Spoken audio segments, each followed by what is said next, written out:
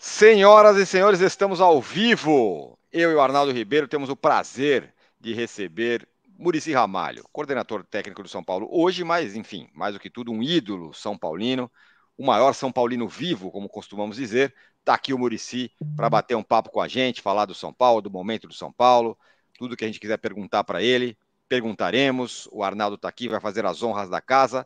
E eu falo já com quem está nos acompanhando aqui pelo chat, vai mandar pergunta eu vou muito bom, vão, ser, vão ter muitas perguntas repetidas de você, então eu vou juntar todas numa delas e, e fazer aos poucos.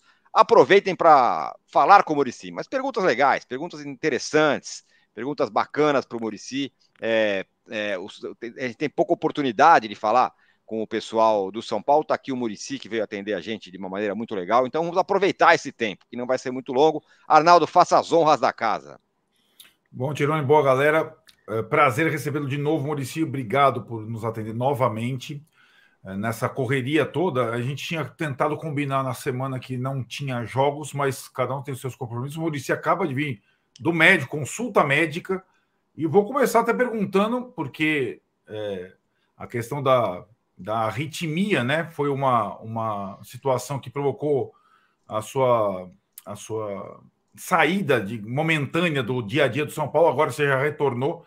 Tá tudo em ordem, voltou do médico agora, dê as primeiras informações, então, sobre a sua saúde, que é o que mais importa no momento. É, eu não quis falar nada na, faz aqui uns 15 dias, não quis falar nada da cirurgia para não criar para não criar muitas especulações, tudo, né? Então, eu, eu é, fui para o hospital, me internei, fiquei cinco, seis dias e, e fiz a cirurgia e graças a Deus a cirurgia foi sucesso. É, não é fácil porque mexe com o coração, né? Complicado, né?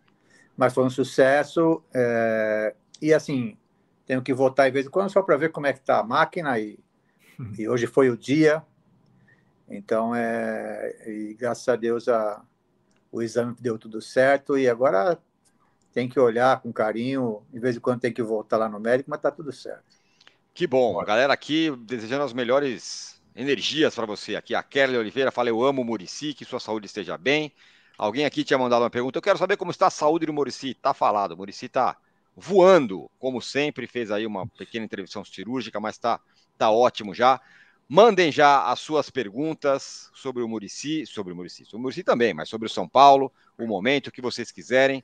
Arnaldo, pode começar, hein?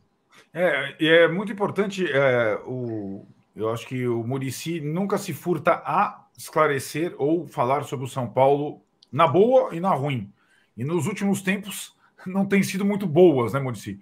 É uma, é, um, é uma digamos, um, uma rotina, mas você acho que sempre está disponível para prestar os esclarecimentos sinceros que, que você sempre presta.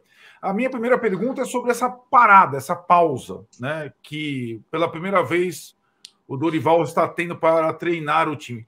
Você entende que essa parada, depois de tantos jogos consecutivos por três competições, ela pode ser boa para o São Paulo ou ruim para o São Paulo?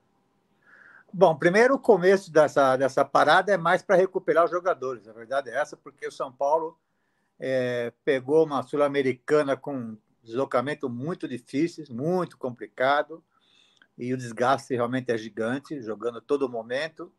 Então, o primeiro, primeiro momento é recuperar é, deram dois dias para os jogadores para se recuperar, uma coisa normal. E agora, claro, é, para o treinador é muito importante, né? Porque o treinador, ele hoje em dia, ele, ele faz um tático, vai para o vídeo o tempo todo, é vídeo, vídeo, vídeo, e, é, e ensaia pouco no campo, né? Porque não dá, dá tempo, né? Os jogadores também, às vezes os jogadores têm dificuldade de finalizar, não se pode fazer um treinamento, porque a parte muscular é muito afetada, toda hora se perde, não só São Paulo, muitos clubes, toda hora está perdendo jogador por problemas é, muscular, né? porque é excesso, é excesso de jogo, é excesso de viagem, o Campeonato Brasileiro, a Sul-Americana e a própria Libertadores que está disputando, as viagens são muito difíceis, né? Então é isso. É primeiro agora é, para os treinadores, não só para o São Paulo, acho que para todos os treinadores é importante, né? É importante é, você ter contatos é, e, e, e, apresentar para os jogadores tudo o que ele pensa né, de, um, de um time, tudo o que ele pensa em tipo de treinamento, posicionamento, coisa tática. E aí é tudo, físico, né? Principalmente físico, né? A gente tinha realmente uma dificuldade física de tantos jogos, mas o time está respondendo bem. Eu já visto nos últimos dois jogos, no segundo tempo, nosso sempre foi melhor que o primeiro. Isso mostra que a parte física está melhorando muito, porque está se trabalhando muita força. Né? Aeróbico não pode, não dá, porque é muitos jogos, mas a parte de força e o nosso time precisa de força. Nosso time precisa de força porque é um time competitivo, né? Se não tiver força é complicado. E, e aí houve uma, uma melhora muito grande, além de você ver no campo é, o segundo tempo nosso muito mais forte.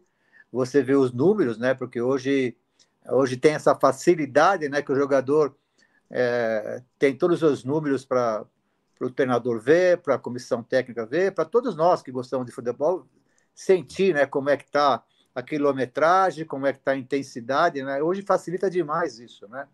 Então a gente vê, além do, do, do jogo, a gente vê os números, e os números nossos, fisicamente a gente está muito melhorando, mesmo porque o São Paulo, não é só São Paulo, o futebol está assim, né? O futebol está muito intenso, tá cada uhum. vez é, a quilometragem aumenta, e quem não tiver físico pode ter um bom time e não consegue, né? E, e, o nosso forte, realmente, o forte do São Paulo é um time que tem que ter essa força, porque é um time que depende muito do coletivo, depende muito da parte física. Uhum. Muito bem, galera aqui já está mandando mensagem. O Thiago fala, mandam é Murici, é, agradecendo você. O David Didier fala assim: muito obrigado por tudo, Murici. E aí ele pergunta, uma pergunta que tem muita gente fazendo, então já é a primeira que tem muita gente perguntando. Ele já fala aqui: o que esperar do Pato? Diz ele. Então, o Pato, todos sabem, né, que teve uma contusão séria, né? Não é fácil a contusão de, de, do cruzado. É, houve uma recuperação. Ele está na fase final agora de está no campo já, já está indo para o campo. Claro que também ficou muito tempo afastado e o jogador afastado para ele entrar em forma não é a parte técnica, é mais físico mesmo, né? Porque volta a repetir, o jogador tem que estar tá muito bem preparado fisicamente, senão não joga. Não é só o Pato, qualquer um.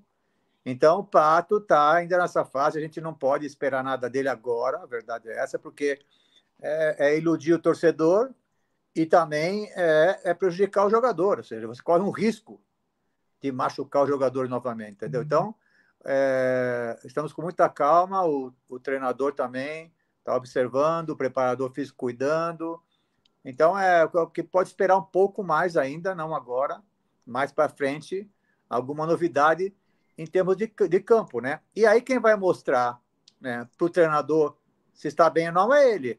Aí é no dia a dia, ver se ele vai competir como a gente acha que tem que ser, né?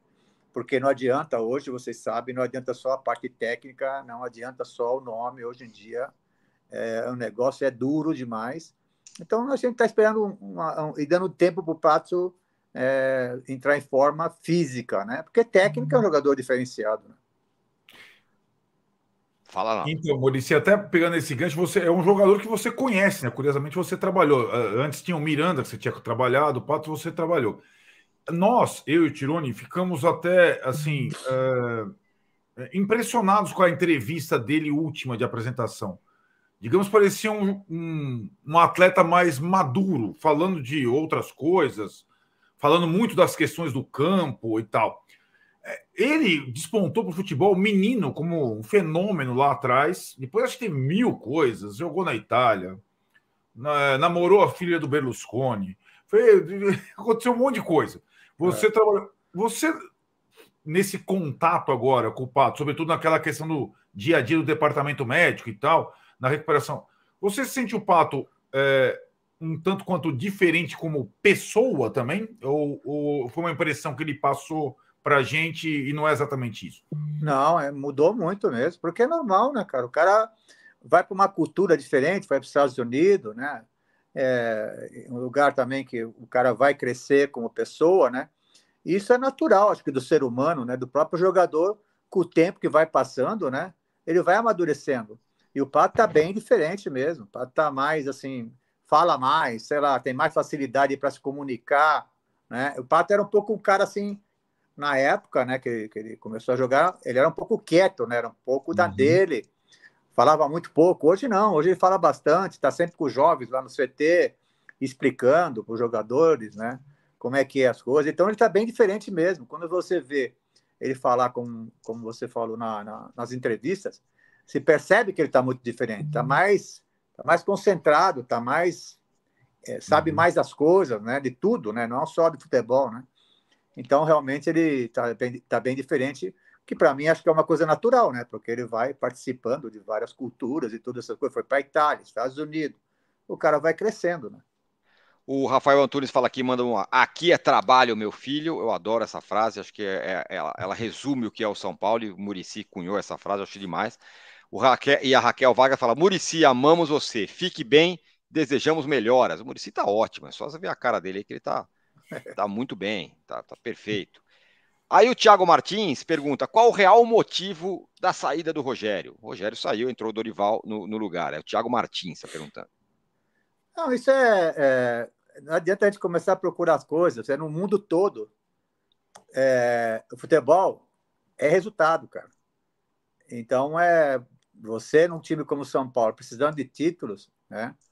Então não tem outro, não tem outro motivo, né? Então é no mundo todo é assim não está diferente em todos os lugares, né? Você tem que dar resultado e ele, nós demos tempo para ele, inclusive ficou quase dois anos lá, né? E então o que mais pegou é isso, porque você dando resultado, né? Você é, é o que você mais agrada, o torcedor, os dirigentes, tudo, né? Ainda mais o São Paulo que está precisando disso. Então não é não é novidade, né? No futebol, é, não só no Brasil. Agora já o Brasil já exportou isso para muitos lugares, né? O cara não deu resultado, é, é difícil você segurar, né? Apesar que o Rogério teve, né, tempos para trabalhar, teve dois anos aí procurando, fez um grande trabalho, né? Mas só que São Paulo precisa de treinador que, que ganhe títulos, não tem como, né?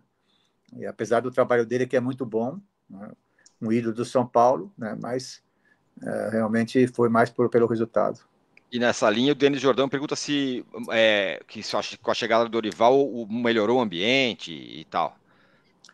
O Dorival, é claro que ele tem uma, uma característica diferente, né? Dorival, ele foi, inclusive foi meu jogador, né? Foi meu, foi o meu auxiliar. Eu é, tive a felicidade de incentivar ele para ser treinador de futebol, porque ele queria ser executivo. E ele uhum. trabalhava de executivo no, no, no, Figueirense, quando eu fui treinador. E eu puxei ele para o campo, fiz a cabeça dele, que aí eu falei, aí não é seu lugar. E ele começou a ser meu auxiliar no Figueirense, aí eu saí, porque eu fui para o Internacional, e ele assumiu o meu lugar, e aí começou a carreira dele, né? Ele é um cara que tem muita paciência, um cara que é mais tranquilo, né? Eu, por exemplo, meu Deus do céu, tenho, assim, eu sou muito longe do que é o Dorival, né? Eu até falo para ele, nossa, você é muito educado, cara. Então é e é totalmente diferente, né? Outros treinadores são mais duros, mais mais que mais cobrança, né? Tem cobranças diferentes. Então é, o rival é esse tipo de cara que tem paciência. Você chama o cara, conversa com o cara, explica para o cara, entendeu? É, não deixa o cara de lado, que, que isso é, o, o jogador sente demais isso, né? Principalmente só joga 11, né? Então um monte que fica fora e é e esses que ficam fora, você tem que estar preocupado com eles, entendeu? Tem que treiná-los, não pode deixar essa parte, né? Então, o Dorival é isso. Dorival tem, tem, tem muita paciência, né? E os jogadores estão estão é, entendendo, né? O tipo de jogo também que a gente precisa, que só tem o nosso time, infelizmente, só tem um tipo de jogo que o próprio Rogério também já trabalhava isso, que é um jogo de transição, de passe, porque a gente não tem a velocidade, a gente está procurando no mercado isso já faz muito tempo, né? Para mudar um pouco o estilo, para alguns jogos você tem uma história diferente, né? Então São Paulo joga realmente na transição com a bola, né? o São Paulo tem muita posse de bola, né? Mas é, a gente não tem essa, essa velocidade que o próprio Rogério também não, não, não teve. E então agora a gente continua atrás sempre de um velocista, né? Para mudar, para dar opção para o técnico, né? Não só ter uma maneira de jogar, porque hoje em dia Hoje se estudam mais, se estudam muitos, cara. Todo mundo sabe quem, quem joga como. E, e se você não tem uma alternativa tática, você não surpreende mais ninguém. Porque os estudos estão muito em cima disso, né? Então, eu acho que é, o Dorival está uhum. é, tá pondo seu, a sua maneira de trabalhar, ainda é muito cedo ainda. Essa semana vai ter essa semana cheia, que já começou e começou bem. Agora, com certeza a gente tem que dar tempo ao tempo, como todos os treinadores, né?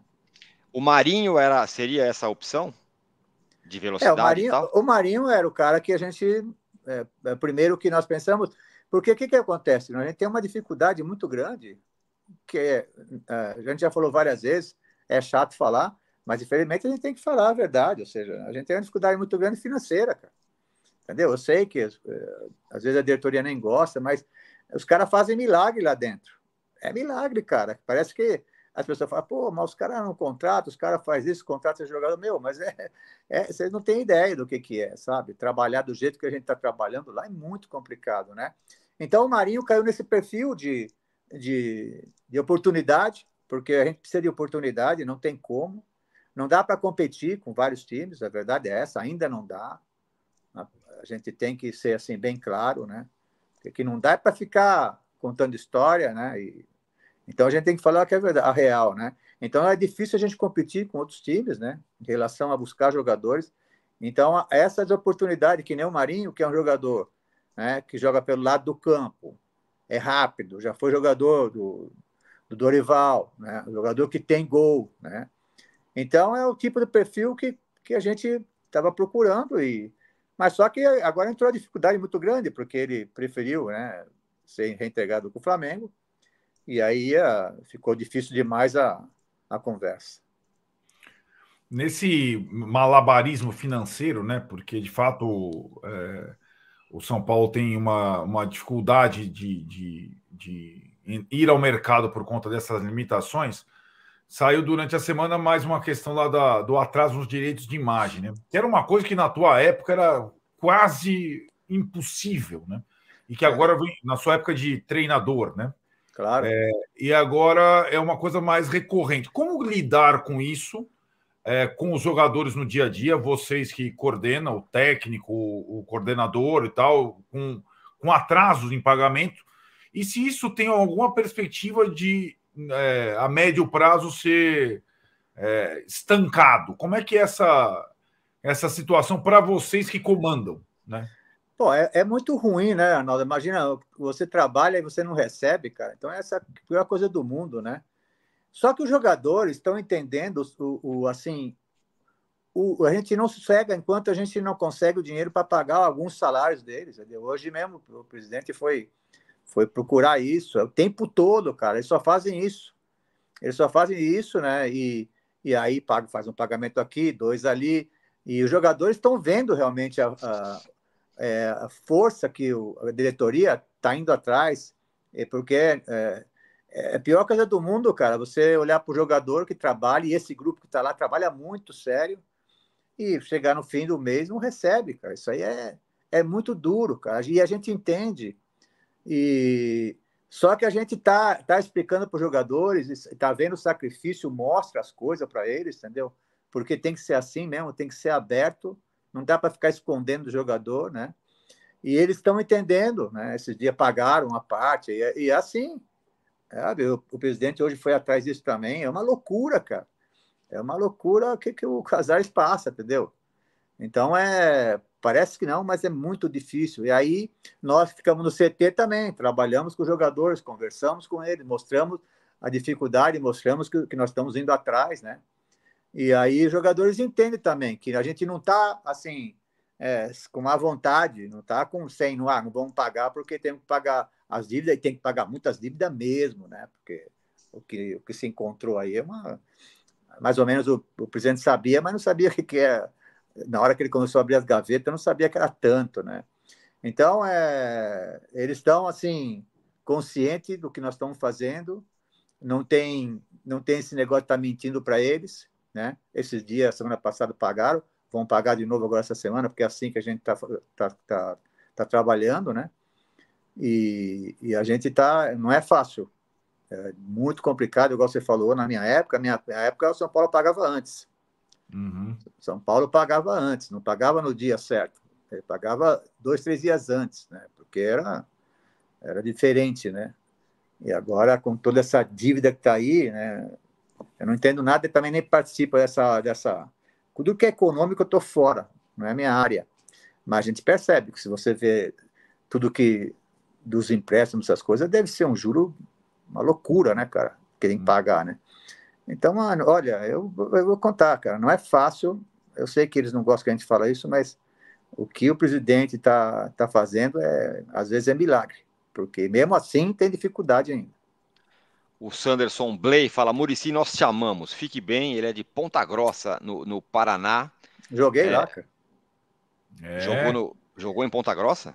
É, porque é o seguinte: na, na, na minha época, o São Paulo, quando o jogador chegava assim com 16 anos, porque lá antigamente, meu tempo, era juvenil, né? Não tinha esse negócio de subir 12, subir não sei o quê. Uhum. Era juvenil. E o São Paulo tinha um pensamento de com 16 anos eles emprestavam o jogador da base para pegar a experiência e depois trazer, entendeu? E aí me emprestaram para Ponta Grossense. Hoje é operário, né? É. Mas na minha época, na época, na minha época era Ponta Grossense, entendeu?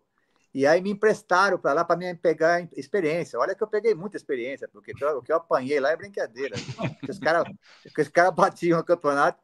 E aí, quando eu voltei, cara, eu voltei muito bem. Eu já estreiei no time de cima com 17 anos e já não saí mais. Então é por isso que quando você falou Ponta Grossa aí é um lugar que realmente um carinho muito grande, porque foi assim o meu primeiro time profissional, né? Além de depois é voltei para o São Paulo que é meu time, né? Quanto tempo você ficou lá? Fiquei lá acho que nove meses mais ou menos, um campeonato que nós disputamos, aí acabou, eu voltei e já comecei a, a, jogar no profissional de São Paulo. Daniel Zen fala: saúde ao mestre Murici que tanto alegria nos trouxe, dos técnicos só abaixo do mestre Tele Santana que tem lá agora uma estátua no, no São Paulo e tudo mais. É, manda aí, Arnaldo. Eu tô, tô, tô monitorando. Vou pegar esse gancho. Vou pegar esse gancho é, o, depois do São Paulo e Palmeiras, é, que teve aquela é, aquele entreveiro do Abel Ferreira com o Calera, ele na entrevista disse que ele se vê muito no Tele, o Abel Ferreira. Acha que ele é muito parecido com o Tele. Você conhecer bem o Tele, o Abel tem razão ou ele está mais de conversinha? Não, ele algumas coisas até parece com o Tele, porque como eu também pareço com o Tele, vários deles parecem com o Tele, né? Mas não que não, o Tele nunca fez aquilo, não, cara. Isso aí não aprendeu com o Tele, não, o que aconteceu domingo, entendeu? De encarar o jogador assim. O Tele nunca. O Tele, cara, o Tele era, era muito diferente de tudo, cara. O Tele, por exemplo, eh, vocês que, que também acompanharam um pouco, o Tele quando o jogador dele, Arnaldo, dava um carrinho no do adversário, meu Deus do céu, cara. Acabava o jogo, ele ficava enlouquecido com o cara, do time dele. Ele falou: vocês estão brincando, cara. Você está dando um carrinho no companheiro de profissão, cara. Você tem que jogar em pé, tem que jogar futebol. Entendeu? É muito difícil achar um treinador que nem o Tele. Ele tinha outra, outro pensamento, ele era muito, era muito na frente das coisas, entendeu? Então, é claro, tinha um gênio, realmente bravo, mas assim, não era tão explosivo como eu, por exemplo. Né? Eu era também meio louco. Claro que eu não era assim. Eu com o juiz era, era, tinha mais facilidade, porque dificilmente eu era expulso, porque eu não era muito de reclamar com o juiz, mas com os jogadores meus, realmente é, é, era ali aquela cobrança, tudo, porque eu acho que o treinador é um grande, além de ser técnico, tem que ser um grande cobrador de, de objetivos, tem que ser cobrado, tem que cobrar eles também, os jogadores. Então, é, é o, o, o, que eu vejo no Abel também, claro, é a parte técnica é muito legal também, né? Mas, assim, é, muito pouco parecido com o Tele, muito pouco é, nesse sentido. Ele, é ele, é um treinador muito bom, explosivo, é o jeito dele. Eu sei o que, que é que ele passa ali na beira do campo, já passei muitos anos, né? Não é fácil. Né? Ele tem que ganhar o tempo todo, como todos nós temos que ganhar, né? Mas, assim, é, é um pouco é um pouco distante do que é o Tele. Como que essa, essa questão desse jogo aí, 2 a 0 para o Palmeiras, e teve a peitada do Abel, a encarada do, no Caleri e tudo mais, é, como isso foi é, repercutiu dentro do grupo do São Paulo? Porque teve gente falando assim, pô, o Caleri tinha que não podia ter feito isso, não podia ter abraçado o Abel no final. Como que dentro do grupo se, se viu essa questão com o Abel nesse jogo? Olha, eu ouvi falar também que, assim, de algumas pessoas, né, que os caras estão ali naquele calor, Porra, o, o Calera devia dar uma peitada nele também. Tá bom. Aí o Calera é expulso. Uhum. E aí? Aí o Calera é suspenso. E aí, como é que faz? Isso é que, eu, sabe, a gente tem que ter. É, não foi legal a cena mesmo, tá? Acho que o Abel, não sei, eu não vi a entrevista dele, não sei se ele reconheceu que ele errou ou não, não sei como é que foi, a verdade é essa. Mas do ponto de vista do São Paulo, ou seja, o Caleri, se ele desse uma revidasse ali, ele ia ser expulso. Aí os dois expulsos, claro que iam os dois expulsos. E quem que ser prejudicado? O São Paulo, pô, porque o Caleri é nosso grande artilheiro. O Caleri é nosso capitão, entendeu? Então é. Então, e a gente não pode, assim, as coisas estão tão agressivas no, no nosso país e a gente tem que evitar isso no futebol. Ali se encarou, não chegou ninguém, deu tapa a ninguém, se encarou ali, claro, poderia ter acontecido coisa pior. Claro que você pega um treinador, você pega um jogador tipo Serginho Chulapa. Imagina se você dá uma encarada daquela no Serginho Chulapa. Uhum. Fica ruim, meu. É. Fica ruim. É que o cara era um cara, sabe, assim, por mais que ele é brigador dentro do campo, tudo, é um cara assim tranquilo, cara, um cara muito educado, um cara, sabe? Então eu acho que eles tiveram uma postura, ele, principalmente, uma postura assim de, de segurar a onda. Porque ele o São Paulo ia ser muito prejudicado se ele saísse, entendeu? Ah, com certeza, ia ser mesmo. De qualquer maneira, é, dentro do grupo, vocês encararam de forma normal e vão para a próxima? Não, é, meu, tem coisa no futebol, cara, que fica no campo, entendeu? É, isso é, no meu tempo sempre foi assim. A gente saía, às vezes, até no tapa. Aí daqui a pouco a gente tava num bar aí tomando cerveja com o adversário, pô. Porque o futebol é assim, cara. Entendeu? O futebol é dentro do campo, cada um, cada um. Cada um participa do seu time, cada um cuida do seu time, né? Só que depois não pode levar para fora. E não pode, a gente não pode estar tá estimulando, ou seja, é, não houve nenhuma conversa que eu ouvi lá de manhã, de café da manhã, essas coisas, não ouvi nenhuma conversa em relação a isso. Entendeu? Não ficou ninguém assim com mágoa de ninguém. Claro, cada um tem sua opinião, né? Mas não ficou nada assim para trás, não. Foi resolvido ali, não sei, me parece que eles conversaram, aquelas coisas todas. Então não aconteceu assim muita coisa depois do jogo, não. Diga lá, Arnaldo. Hoje saíram, né, disse as datas dos confrontos da Copa do Brasil. Quer dizer, daqui a pouco vai ter São Paulo e Palmeiras de novo. É, você acha que, em relação a esse jogo que passou, a derrota, o São Paulo consegue, digamos, se aproximar do Palmeiras para ter alguma chance na Copa do Brasil, é, nesse, nesse duplo confronto aí? Então, o que eu acho é o seguinte, até já conversei com, com, com Dorival, conversei com algumas pessoas, né? Eu acho que o São Paulo, nesses dois últimos jogos, mostrou que realmente tem condição de jogar de igual para igual, né? Como a gente jogou contra o Grêmio, até a gente merecia o segundo tempo até é, empatar o jogo, contra o Palmeiras igual também, a gente mandou, é porque é muito difícil você pôr, empurrar o, o Palmeiras para trás, o São Paulo fez isso. Agora, o que a gente tem que estar muito consciente, né? Os jogadores, nós, é que só isso aí não basta para ganhar do Palmeiras. Tem que ser um pouco mais. Entendeu? Porque a gente não pode se conformar com, com as coisas, entendeu? A gente pode achar coisa positiva, e foi verdade, coisa positiva mesmo. Nosso time fisicamente foi para cima, apertou, deu bola na trave, e, e, é difícil você, como eu já falei, difícil empurrar o Palmeiras para trás. Agora, a gente tem que ser mais que isso para ganhar, né? A gente mostrou em vários momentos do, do, jogo que a gente tem condições de ganhar do Palmeiras. Claro que tem condições, né?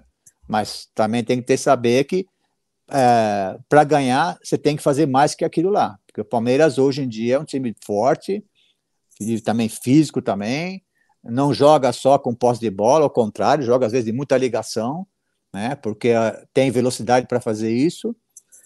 Mas é assim, é claro que a gente é, procura ver o melhor né, do, do jogo, o que o seu time fez mesmo, né? Eu converso muito com o Dorival em relação ao, jogo, né? Fizemos coisas boas, tudo, né? Mas a gente tem que fazer um pouco mais para ganhar esses dois jogos do, do Palmeiras. Muito bem, ó. O, o Leonardo José fala: Grande Murici, conta aí, naquele time de 2014, quem fazia mais corpo mole no rachão? O Rogério, o Pato ou o Ganso? Pergunta aí. Olha, eu vou te contar, cara. Eu, é, porque eu, eu, eu tinha. Eu sempre. Os dois, eu torcia para os dois times, né? Aquele treinador que né, não pode torcer para um uhum. time só, né? Então eu, eu usava os caras. Falei, bom, eu vou vender o ganso, né? Vender o ganso e o pato. Né, e vou trazer outros caras do outro time. Então, era uma coisa assim era uma coisa que precisava, porque o jogador, cara, treina a semana toda, duro pra caramba, treinador chato, cobrando o cara toda hora. Tem uma hora que você tem que descontrair um pouco, porque aquilo lá é muito tenso, é muita cobrança, né? E a gente hoje usa muito pouco é, do estoque, né? E a gente tinha esse costume, cada um tem seu time, né? O, o Rogério Senna tinha o time dele, e acho que o Pato Ganso tinha um outro time, né? O Rogério era o, o, artilheiro do time dele, porque o Rogério jogava de centroavante. E era bom, né? Porque o Rogério ele, ele batia muito bem na bola, né? cabeceava bem, né? E o Pato e o Ganso era aquela enhaca, né, meu? Aquela que o treinador tinha que estar tá empurrando o tempo todo, né? né? E aí aquela brincadeira, né? Gente, tinha um cone lá, foi, Pato, sai, vai entrar o cone no seu lugar, aquelas, aquelas brincadeiras para descontrair mesmo, né? E aí depois quem ganhava tirava fotografia, entendeu? Então é, era, um, era um ambiente muito bom, mesmo porque também, se eu não fizesse isso, Tirão, ninguém ia me aguentar, cara. Uhum. Porque, meu, é, é, eu tinha essa coisa, é, tinha que ser um cobrador de objetivo. O cara chegava de manhã lá, é, até a hora que ele sair, ele era cobrado, entendeu? Porque eu acho que é assim. Agora, tem hora que você tem que dar um abraço no jogador, tem hora que você tem que perguntar como é que tá a sua família, você está precisando de alguma coisa, entendeu? Se é hora que você tem que, né? O treinador, o jogador, ah, preciso descansar um pouco, porque essa noite eu não dormi. Você tem que saber também lidar com o jogador, não é só pancada, né? E aí o único momento que a gente tinha para distrair mesmo, assim, juntos, era o dois toques, entendeu? Que aquilo era uma brincadeira, uma, uma, festa. Entre eles era sério, porque um queria ganhar do outro, né? É sempre o mesmo time. Então eles queriam ganhar um do outro. Agora, para nós era brincadeira, né? A gente tinha o Tata, que era super engraçado, o Milton também, que ajudava. Então faz parte né, de um time de futebol você descontrair um pouco, porque o jogador é muito cobrado e, e a coisa sempre está tensa né, para o lado dele. E o, e o treinador tem que ter essa. saber o momento certo. Tem hora que ele tem que dar um abraço no cara, tem que dar, depois tem que dar uma porrada no cara. O treinador tem que saber esse momento. É, só, só rapidinho, é, eu ouvi, é, foi que alguém falando, alguém que acompanha o São Paulo, que o Dorival tem feito treinamentos que não eram mais sendo feitos no São Paulo, que era de coletivo. O Dorival dá coletivo daquele jeito que a gente viu. Não, não tem, não tem coletivo mais, né? O que tem é campo assim. Não tem mais aquele é, de 11 contra 11 campo grande, né? Não tem ah, tá. mais. Isso não tem hoje, mesmo, tá. É, hoje ninguém treina mais isso, né? Às vezes eu tenho assim um pouco de dúvida em relação a isso por, por, um, por, um, por um problema, um fundamento que é, no futebol brasileiro hoje se perdeu muito, né? Que é, é o seguinte: se vocês observarem bem, né? Eu sou um cara observador, eu adoro ver jogo, vejo jogo o tempo todo, né? Qualquer jogo.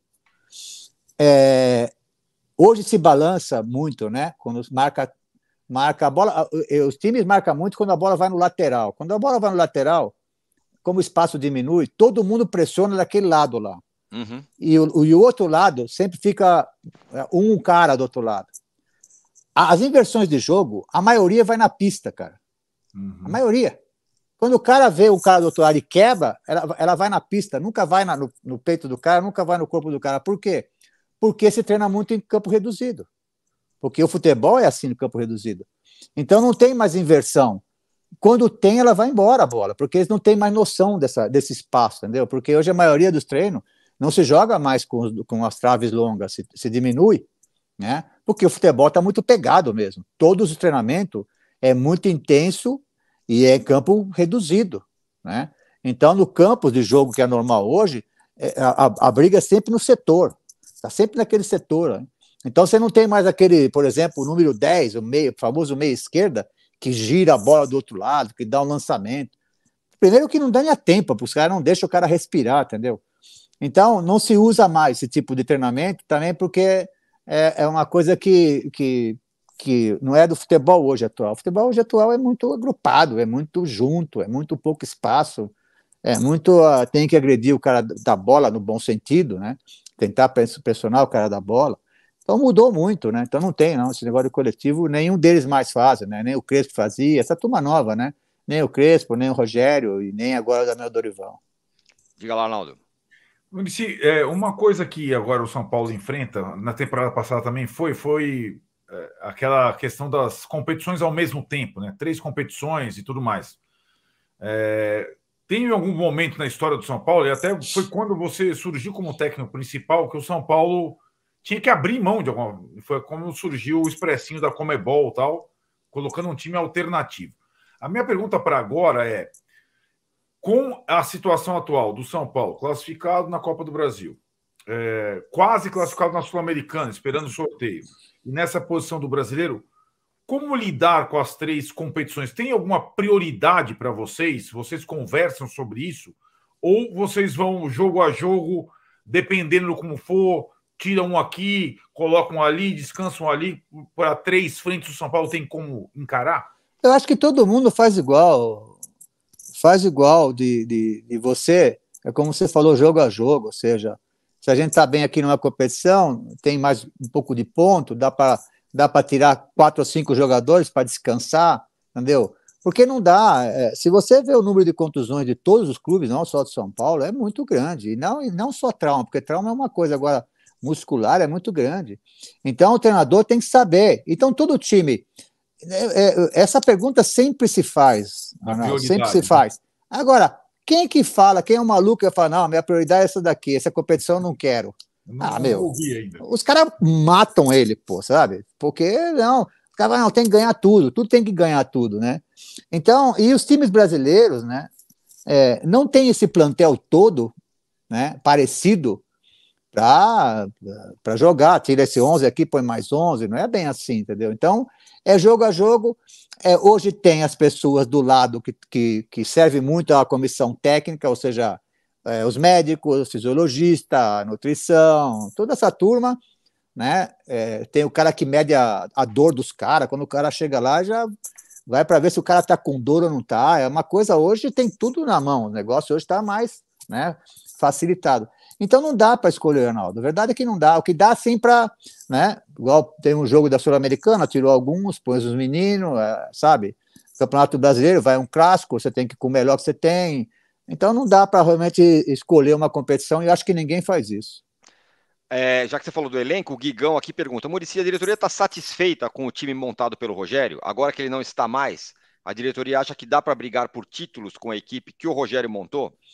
Na verdade é que nós temos um, um bom time, um time que é, a parte coletiva funciona de uma maneira de jogar futebol, que é de, de, de posse de bola, que é, não tem muita velocidade, né? E, e nós estamos atrás desse velocista faz tempo, só que a gente sempre esbarra na, na parte na parte econômica, porque não dá para trazer mais ou menos, você tem que trazer bons jogadores assim. Eu, na minha opinião, né, a gente, é, a gente tentando, né, esse tipo de jogadores que eu falo de velocidade, a gente tem chance de brigar por alguma coisa, porque a gente muda muda o estilo do, do São Paulo jogar, porque, volta a repetir, como falei no começo, né, os times começam a, a saber com quem vai jogar, e aí começa a marcar de uma tal maneira, começa a dificultar, entendeu? Então, eu acho que para você. Claro que o, o, São Paulo sempre tem que pensar em título, todos os grandes são assim, não é diferente, não, sabe? Então, é, é a gente a gente tem que se a gente melhorar um pouco nesse sentido, aí dá para a gente brigar sim, porque a gente tem um time competitivo. Em alguns setores a gente tem vários jogadores muito bons, jogadores que estão aí surgindo, tipo o Pablo, esses caras tão diferentes. E então falta pouco para a gente ter realmente para brigar em cima, cara. Mas o pensamento sempre é sempre é ganhar. Isso não tem como um time grande pensar diferente. Esse aqui é o desespero do Rafael Nicolai aqui. Murici, eterno ídolo. Como você vê o futuro do São Paulo? Será que contaremos ganhar grandes títulos? Abraço do seu fã. Isso aí me incomoda muito, né, cara? Isso aí é o que mais me incomoda é isso, né? Eu, é... porque eu passei por time vencedores, né? É... E, meu, eu fico, pô, aqui em casa mesmo, tem três São Paulinos, os três filhos, agora vem neto que são São Paulinos também, todo mundo é São Paulino, e aí é, você vê as crianças também, os pais com dificuldade de fazer o cara ser São Paulino, porque é, quando ganha, né, como na minha época, por exemplo, na época do Tele, São Paulo, a torcida cresceu muito, né, porque todas as crianças queriam ser São Paulino. Então, a gente, no meu caso, eu sofro bastante, né, mas eu não desanimo, cara, porque se eu tivesse que ter, assim, desanimado, tiver, ter largado, já estava na seleção brasileira, Copa do Mundo, tudo, para ser coordenador, que eu fui convidado, convidado pelo Tite, que ele veio aqui na minha casa, para ajudar ele na Copa do Mundo, né? Então, é, se eu estou lá é porque, meu, eu tenho, assim, esperança de, de tentar ajudar de uma tal forma, né, estou ajudando muito, na verdade, que não é fácil o meu trabalho. Eu tenho que ter, às vezes, as pessoas falam, pô, o Murici fala pouco. Acontece que eu fui, eu sou um ex-treinador, cara. Você começa a querer aparecer muito, cara.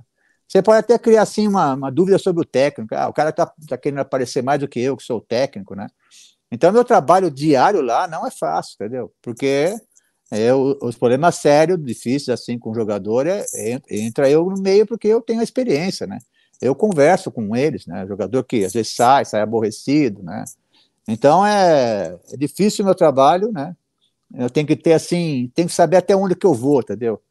Só que eu tenho, tenho facilidade, porque o Rogério me conhecia, né? O, o agora o, o, o, Dorival me conhece muito bem, o Crespo não me conhecia, mas ficou meu amigo, porque conheceu bastante, que eu mostrava para ele todo dia que era o São Paulo, ajudei bastante ele. Mas eu tenho que ter, assim, tem que ter uma linha ali que eu não posso passar, não. Por isso que às vezes eu fico um pouco quieto, né? Porque, sabe, tem momentos de complicado no futebol que é, você começa a querer aparecer e cria um pouco de dúvida em tudo, né? E para mas só que eu sempre falo para eles, a primeira coisa que os treinadores, porque eu eu que tenho a chance também de contratá-los, eles já conversar com eles antes para ver como é que é eles. Primeira coisa que eu falo é que no meu contrato está isso, ou seja, pode pode assumir até o presidente do time do clube assumir o time, mas eu não. No meu contrato está esse aí, entendeu? Então é para não ter dúvida, né? Senão você está com dúvida com o cara lá trabalhando com, com o treinador, e tem um cara como eu, que fui campeão do time lá, sou do, sou, sou de São Paulo desde nove anos de idade, aí você deixa o cara em dúvida, né? Mas comigo não tem dúvida, não.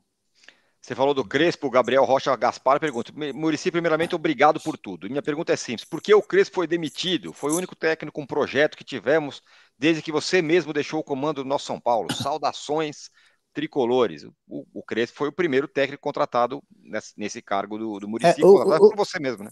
O grande problema do Crespo, né, que nós ganhamos o Campeonato Paulista, que as pessoas têm que entender que o São Paulo foi o único time grande que saiu na frente. O São Paulo não deu férias para os jogadores. Os jogadores do São Paulo entenderam essa situação.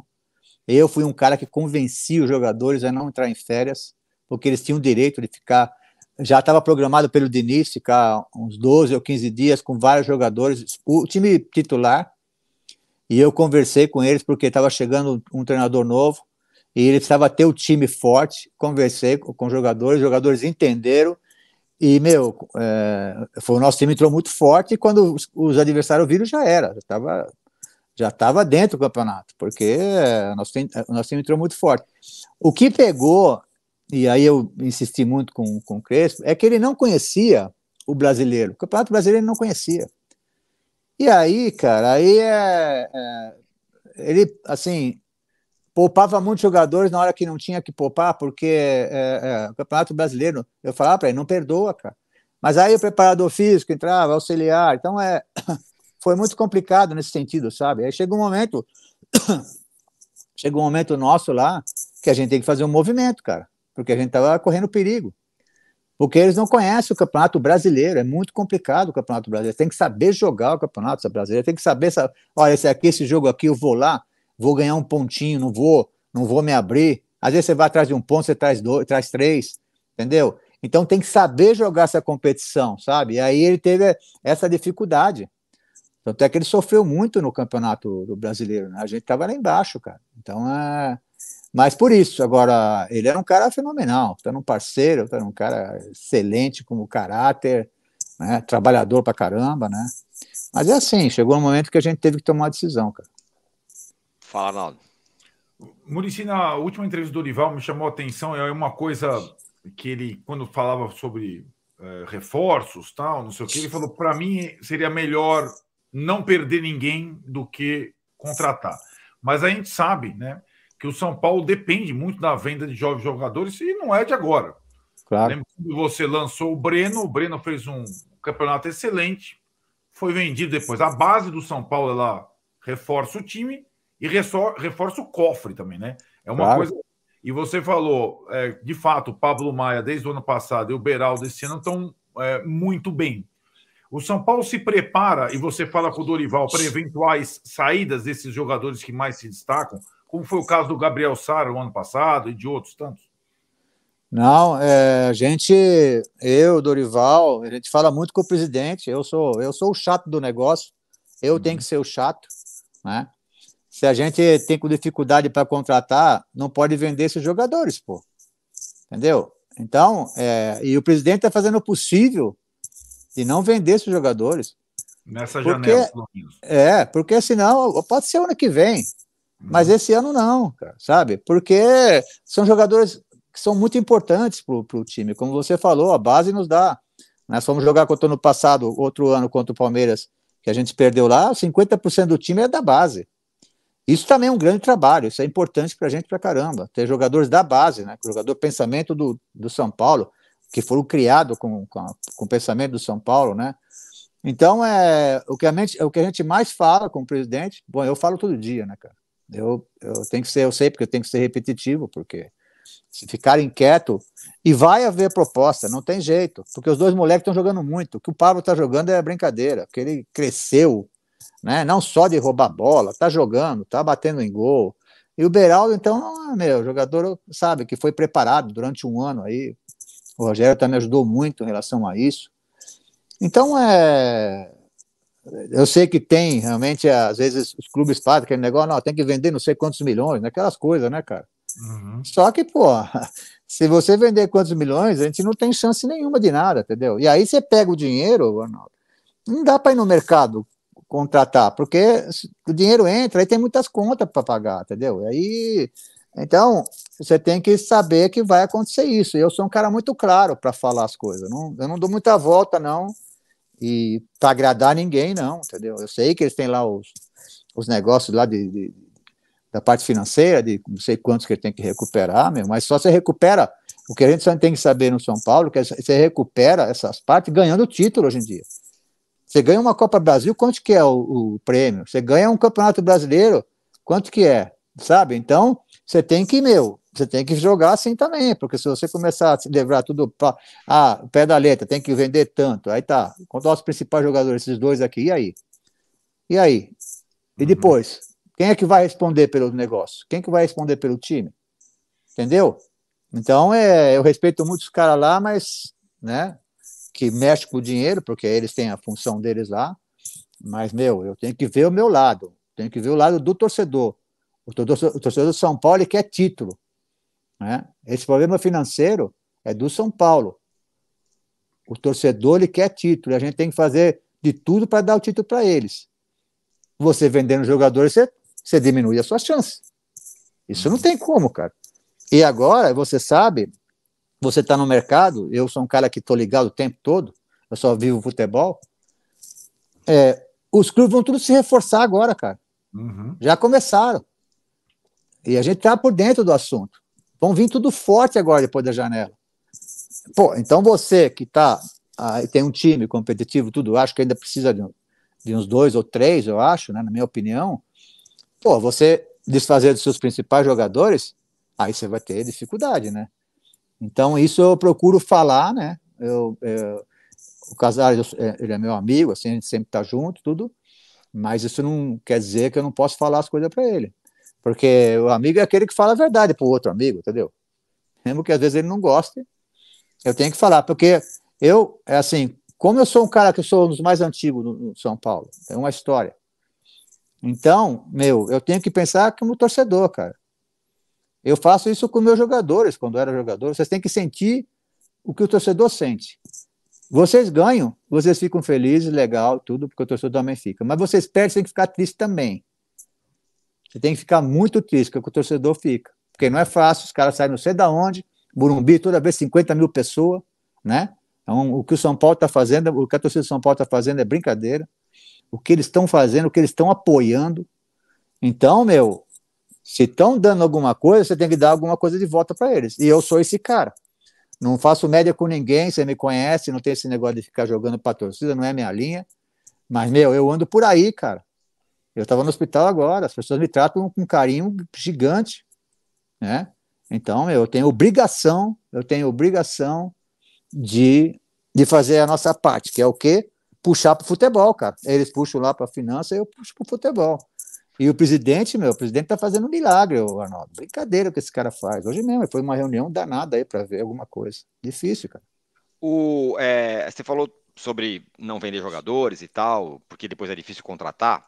O seu time tricampeão era um time que eu costumo dizer, era um time sem craques. Era um time muito bom, mas muito bom mesmo. O craque do time era o Rogério. Tinha uma cacetada de ótimos jogadores. Que o São Paulo foi pegando aqui e ali. Trouxe o Aloysio, trouxe o Mineiro, trouxe o Josué.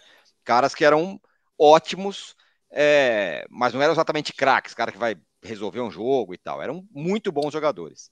Nesse aspecto, o São, você acha que o São Paulo tem errado nas suas contratações últimas? Não, é, o que de... acontece, Tirone, acontece é uma coisa simples, ou seja, é, os jogadores, os bons jogadores que a gente trazia, eles queriam vir para o São Paulo, cara. Porque São Paulo ganhava títulos, São Paulo pagava em dia, entendeu? O cara vinha, ele sabia que ia ser feliz, cara. Entendeu? Uhum. Essa que é, essa é a diferença, entendeu? Então, é, o nosso time, como você falou, o nosso, nosso craque era o nosso goleiro. Só que os, os outros 10 eram muito fortes, cara. Muito mesmo. Ninguém é tinha time que nem a gente. Só que o que acontecia? Dava para organizar, porque a gente sabia no mercado que a gente ia perder dois ou três jogadores importantes do nosso time. Por quê? Porque o time era valorizado. Porque o time ganhava, então se valorizava muito. A gente sabia quem que a gente ia perder. A gente ia no mercado há seis meses antes dos caras já, já contratar jogadores. E os jogadores, todos queriam. Às vezes tinha um jogador que dois ou três times queriam esse jogador. Eles não tinham dúvida, cara, eles fechavam com a gente. Então, a gente podia fazer isso. Hoje é difícil, porque a gente não tem condições de chegar no cara, ó, tá, tá aqui. Não tem, cara, sabe? A gente tem maior dificuldade, entendeu? Você acha que a gente, no meu caso, pô, eu sempre teve jogadores muito bons. No Santos também, em vários lugares. Pô, você acha que eu vou querer, não vou querer o, o melhor? Entendeu? Então a gente tá, faz um time do jeito que a gente pode, um time competitivo que é o nosso, um time de força. Os senadores que vêm já sabem o que, que vai encontrar, entendeu? Então, é, agora, a gente tem muita dificuldade, cara. A gente tem. E não adianta a gente não ficar, ah, não acho que é bem assim, não. A gente tem dificuldade sim. Então, é difícil demais, cara, para a gente a gente, sabe, para a gente trazer jogadores que a gente realmente precisa, sabe? E então é, não é fácil, não.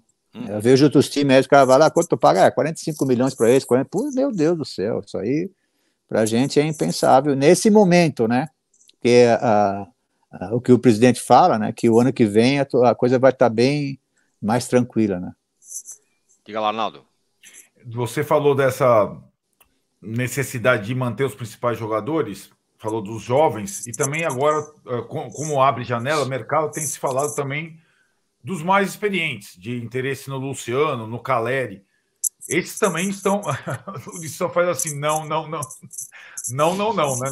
De jeito nenhum, cara, não tem acordo, entendeu? Os caras os cara viram, também vi as notícias aí, tudo, sabe? Os empresários estão tudo doido. Os caras vê o lado deles, meu. Eu vejo do nosso lado. Entendeu? Como é que eu vou vender o Caleri, cara? Como é que. Me explica aí, como é que eu vou vender o Caleri? Fala aí. Pô, o maior do... hoje é o maior ídolo do São Paulo. Né? O nosso goleador, o nosso líder lá dentro, líder positivo, profissional, cara que dá exemplo, entendeu? Porra, como é que eu posso vender um cara desse? Não tem como, cara, vender, entendeu? E mesmo se vender, pega o dinheiro, vai para outro lado. Não uhum. tem, sabe? Isso aí, isso aí é impensável, cara. Claro, não sei se vão dar reviravolta aí, não sei. Mas é, o pensamento lá dentro de jeito nenhum, a conversa é de jeito nenhum. Não tem. A gente não quer nem ouvir proposta, porque às vezes a, você ouve proposta, você fica meio, né, meu? grana gigante, você fica né, se coçando, né? A gente nem abre, a gente não quer nem conversar. A gente só ouve, né? E a gente fica esperando, mas não tem, não tem assim, pensamento nenhum da gente vender. O Luiz Otávio pergunta é, se você conversa mais com o Dorival do que conversava com o Rogério sobre time, sobre escalação, porque eu lembro que você você falava bastante com o Crespo, né? O Crespo te ouvia bastante, né? Muito. É o Crespo é que o Crespo, como o Crespo não conhecia, né, o, o futebol brasileiro e é diferente mesmo do que ainda mais ele que ficou na Europa todo o tempo, né? Ele vê assim essa essa quantidade de jogos, essas coisas todas as distâncias, ele ficava enlouquecido, né? Ele falava, pô, Murici, como pode ser? Eu falei, aqui é assim.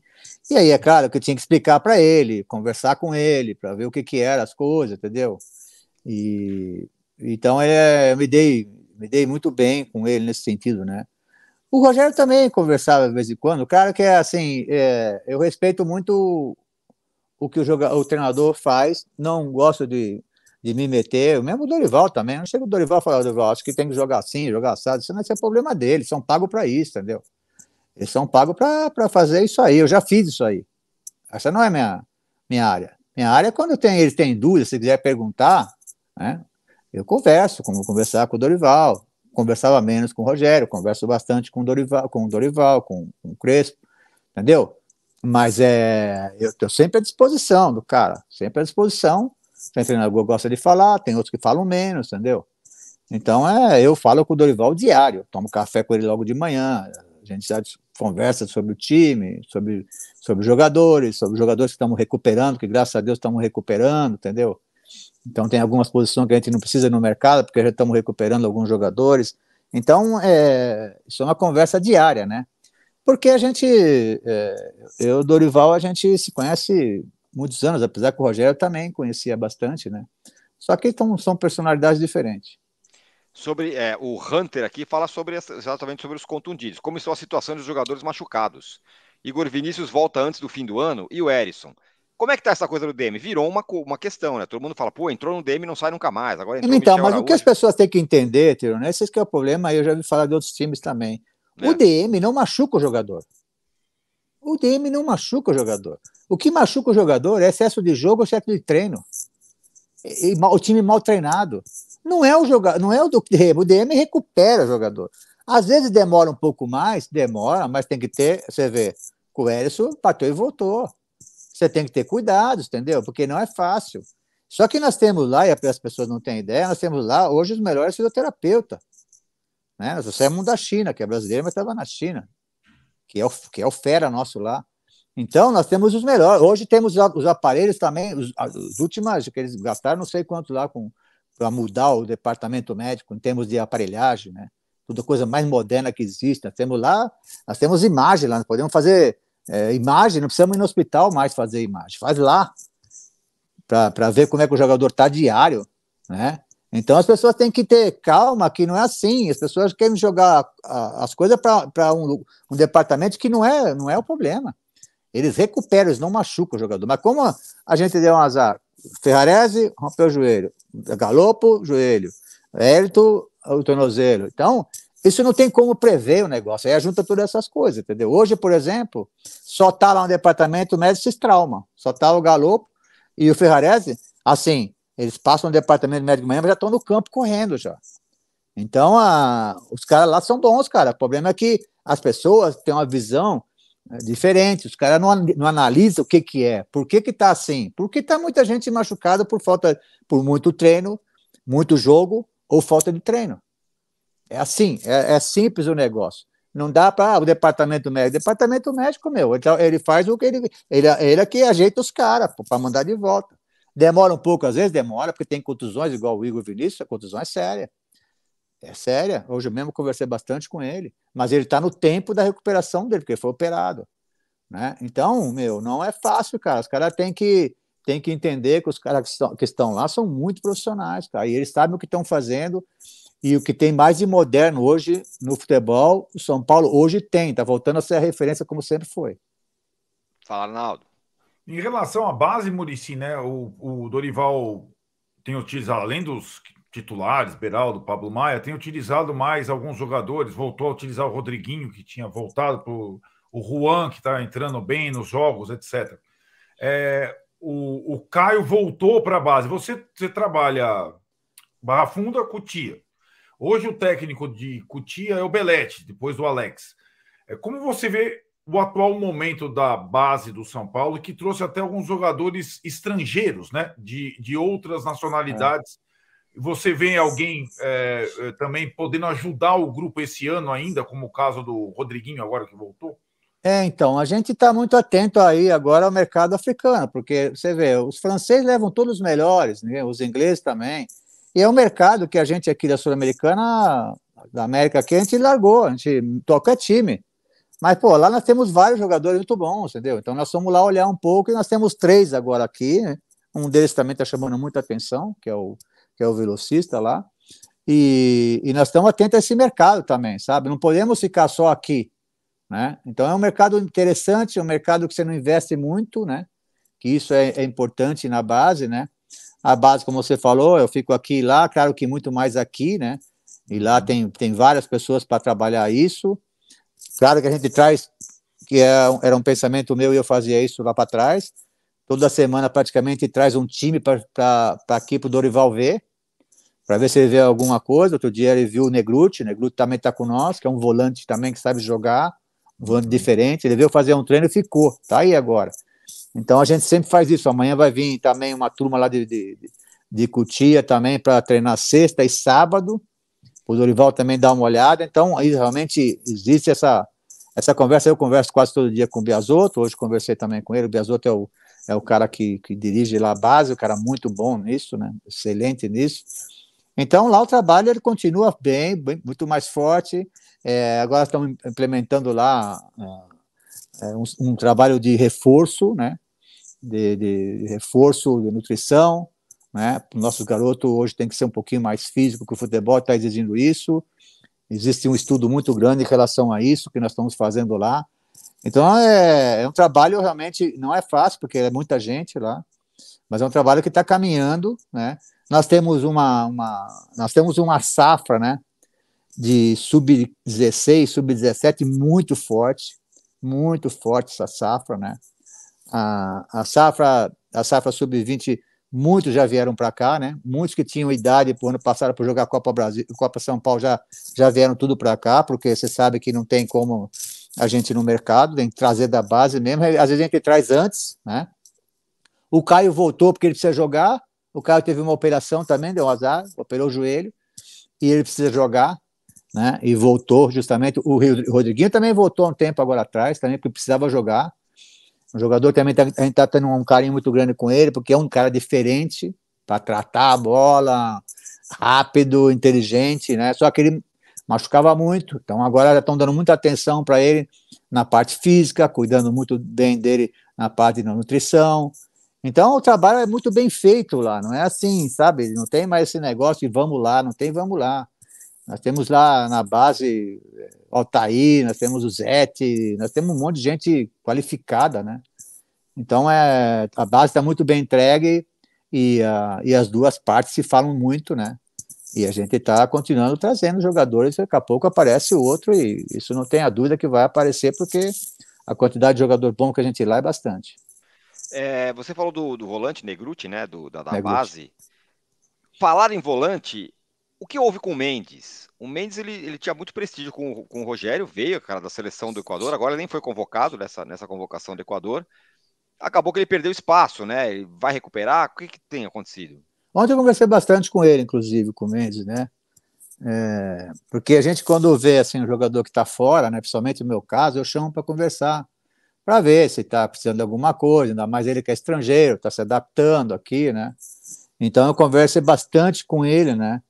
É, e, e, acontece que cada técnico pensa uma coisa de futebol, né? Então é e a gente tem que, meu, tem que ver isso e o jogador tem que meu, sentir, né? O que que o técnico gosta, né? Dorival é um cara que gosta que o meu campista seja bem intenso mesmo e jogue também né? Que não, não tem mais aquele volante só marcador, né? Então, o Mendes está tá se adaptando, daqui a pouco volta a jogar também, sabe? É, então, isso aí é, é coisa de adaptação. Né? Ele tem, falei para ele que a gente, é, é, que a indicação do Rogério e outra, nós vimos a Copa do Mundo, ele foi muito bem na Copa do Mundo, né? E que, não, ele não pode, não esqueceu de jogar, né? Acontece que é assim, jogador oscila bastante também, daqui a pouco ele volta a jogar. Tem jogador que, que não jogava, o Pablo também não jogou muito tempo aqui esse ano. E agora é o titular absoluto. Então, é, isso aí é coisa de, meu, de ajustes, o treinador vai vendo, daqui a pouco um dia ele joga, aí joga bem, não tira mais. Porque o que a gente tem que entender, e o jogador, e eu converso muito com eles, meu, nenhum treinador barra ninguém, cara. Nenhum treinador barra ninguém, pô. O treinador não é burro de. Ô, o Arnaldo joga pra caramba, não vou querer o Arnaldo. Pô, o Arnaldo é chato. E ele é mesmo, mas tudo bem, pô. Entendeu? Pô, mas é. Sabe, eu, meu, eu vou pôr o Arnaldo, quero que se dane, não quero saber, não sou amigo do Arnaldo lá, mas, pô, então o jogador tem que entender isso. Nenhum treinador barra ninguém, cara. Não tem como barrar. É só o cara mostrar nos dia, no dia a dia também, que é importante, hoje, hoje mais ainda, o dia a dia hoje cada vez mais importante. Então eu conversei demais com ele explicando isso, com certeza daqui a pouco ele está jogando. Vou passar para lá, é só pegar aqui a do André Mancini que fala Senhor Murici. Pô, o senhor, senhor não tô, acha tô velho, hein, meu? O senhor não acha, aí ele vai, aí ele dá uma pancada. O senhor não acha que o São Paulo está errando muito nas contratações? Tipo Rai Ramos, Orejuela, Alisson, Nicão. Não é rasgar dinheiro? Ele pergunta. Tem a ver um pouco com essa hora da, do dinheiro, né? Como, é, a gente quase o pior é que quase a gente não gasta dinheiro, assim, porque a gente não tem para gastar, entendeu? Então é difícil explicar assim, porque as pessoas vezes não entendem, né? que a gente pensa que a gente investe demais, assim, e aí erra muito, né? mas não é, não é bem assim, não. Fala, Já estouramos a hora combinada, vamos mais 10 minutinhos rapidinho aqui para o Murici. Tem, tem problema, não, estou fazendo nada, hoje também não tem muito jogo na televisão. É, não tem, tem nada, nada. já foi tudo à né, tarde. É a coisa mais difícil, a coisa pior que tem no futebol, né, cara? Quando pega essa negócio da data FIFA. FIFA, é bom para os jogadores, para os treinadores, mas para nós, meu, para nós é Nossa, é ruim, né, cara?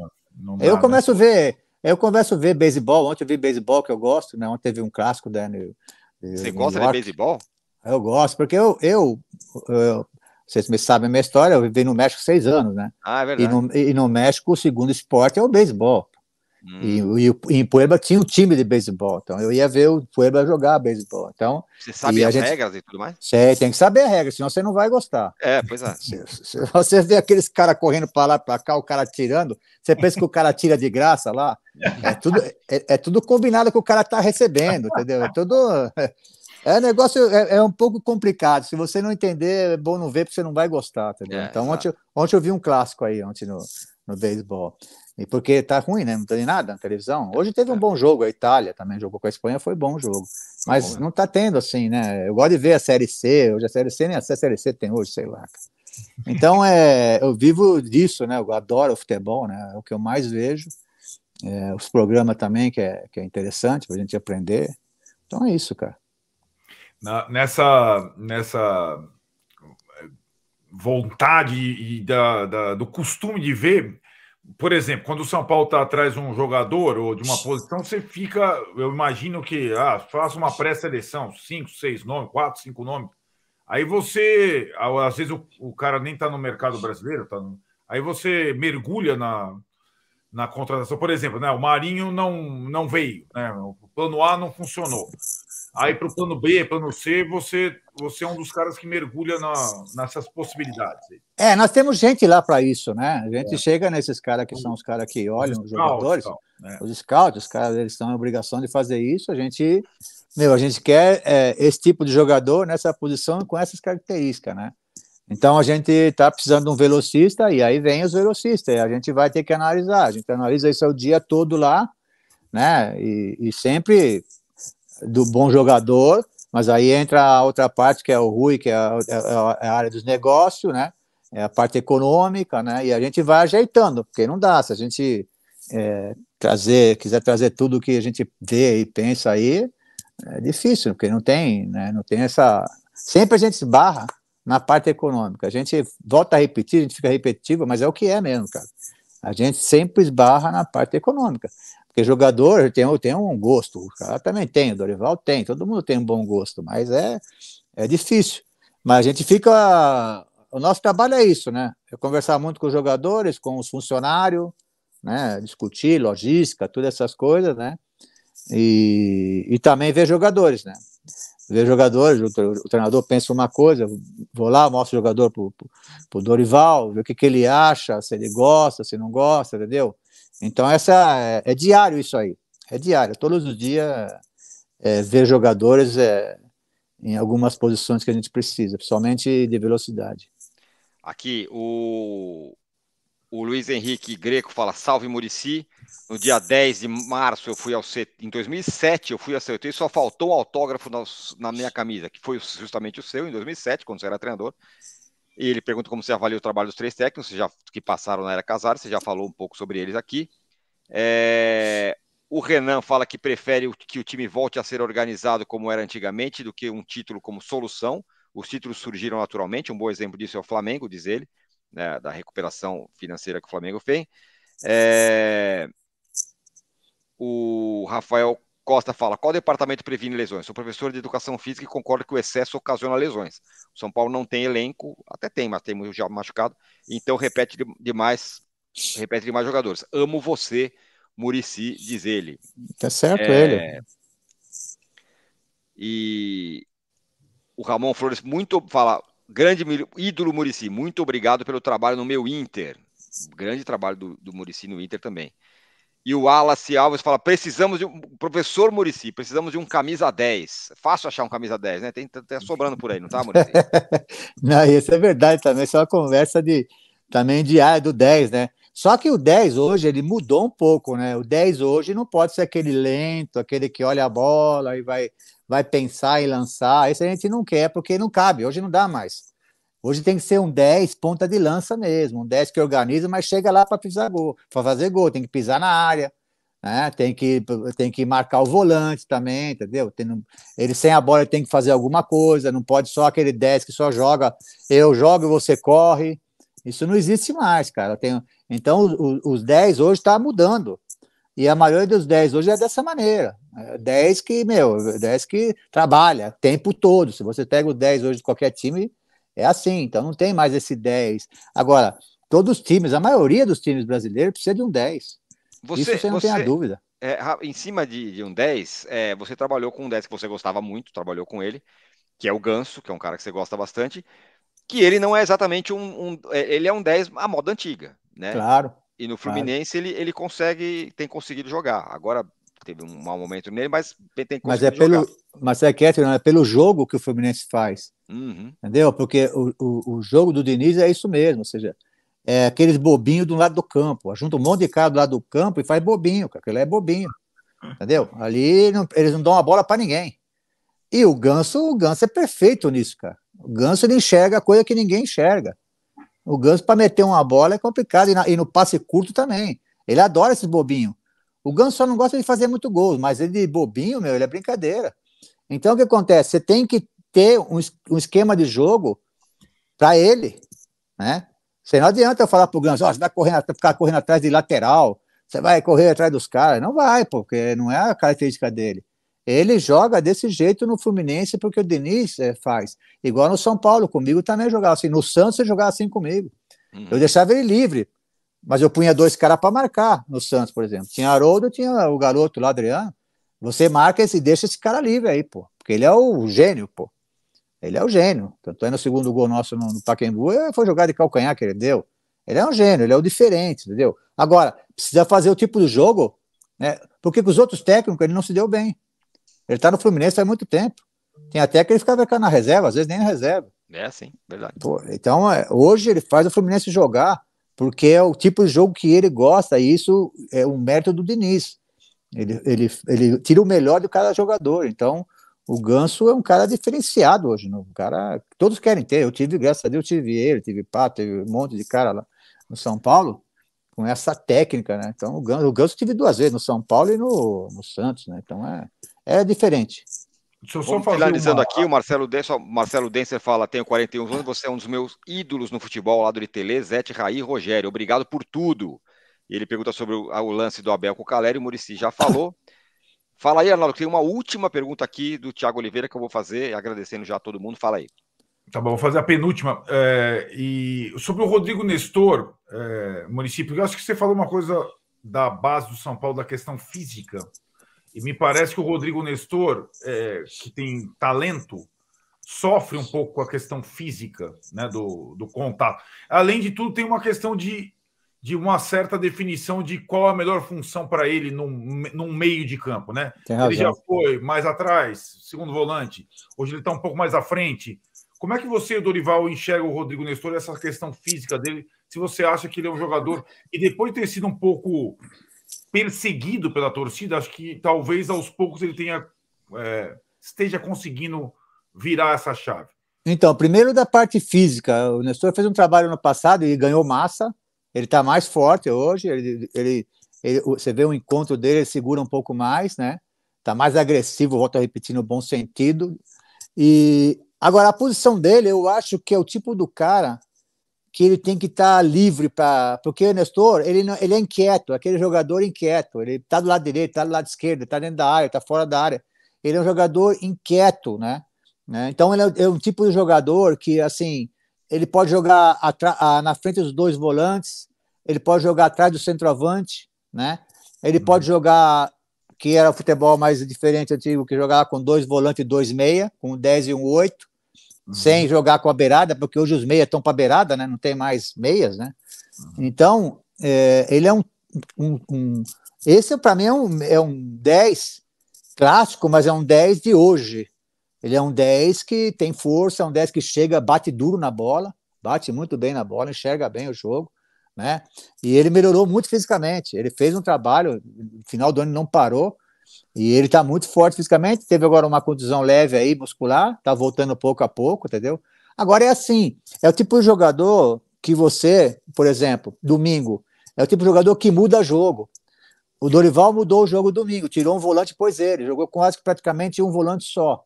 Né? Ele, ele, ele alternando com, com o Pablo, mas ele voltava menos, entendeu?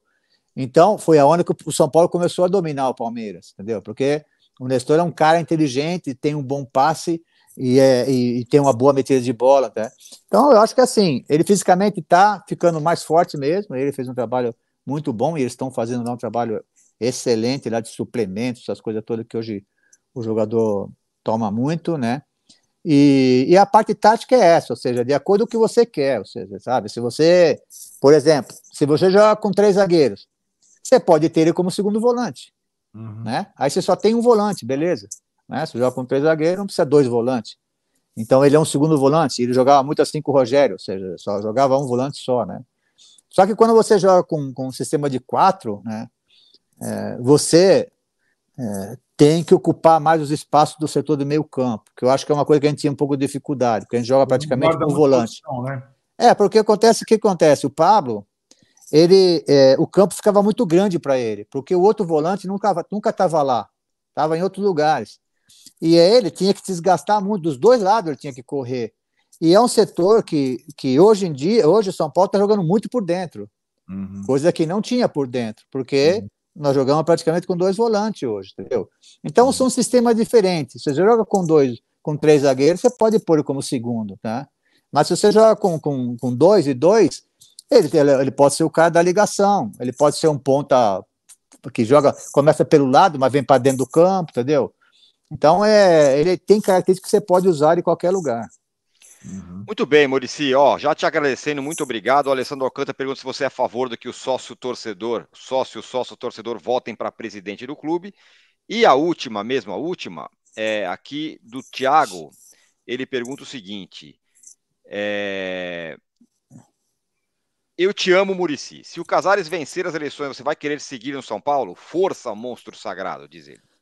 Então são Bom, duas. primeiro, primeiro, assim, a parte política é difícil falar, né? Que na minha área não, mas é claro que o sócio-torcedor tem que ter sempre a, uma, uma, maneira de falar alguma coisa para o clube, né? E em relação ao ano que vem, é, ainda não sei, né? Porque eu estou cumprindo meu, a minha palavra de ficar os três anos, que recebi muitas propostas e não saí, estou aqui junto. E no fim do ano não sei, cara, o que vai acontecer, né? Não sei se eu vou voltar para praia, para morar para praia, voltar a curtir agora meus netos, porque o futebol ele é bom, cara, só que ele te tira de muito da, ainda mais. É claro que eu, eu não, não, não sou assim, não consento, todas essas coisas, mas eu tô lá o dia a dia, né? Então eu não sei o que vai acontecer no final do ano, né? E, mas é, torço para que torço para que essa diretoria continue, porque eles estão fazendo realmente e vão, vão levar o São Paulo diferente outro ano, com certeza que vai melhorar. Isso não tenha dúvida, estou acompanhando. Agora, no fim do ano, vamos ver, vamos, vamos ver o que acontece, né? É, se eu continuo ou, ou, vou dar um tempo, não sei. Eu vou ver o que eu. Eu tenho que dar, dar tempo ao tempo. Ó, oh, a última, essa é a mais difícil. Pergunta do jornalista Wilson Baldini, Baldini Júnior. Quem jogou mais, Gerson, Pedro Rocha ou Murici? No São Meu Paulo. Deus do céu, vocês estão ficando loucos. Vocês estão loucos. O Baldini é, Baldini é brincadeira. O Baldini é brincadeira. Vamos fazer assim. Vamos jogar com os dois 10, vai. E eu sou o número 8. Joga o Gerson, porque é o time ofensivo. Boa. Pedro Rocha e Gerson e eu na frente dos dois. Pronto, tá certo. Perfeito, tá aí. Um é 8, tu é 10, tá? tá certo? Não? Muito bem. Murici, muito obrigado. Viu? Ó, tentamos responder aqui o máximo de perguntas possíveis. Muito obrigado a todo mundo que mandou mensagem aqui para a gente, uma audiência muito legal.